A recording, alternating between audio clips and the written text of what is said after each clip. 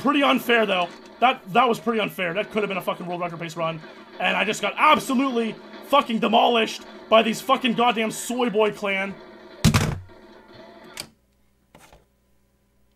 I don't want to think about this ever again.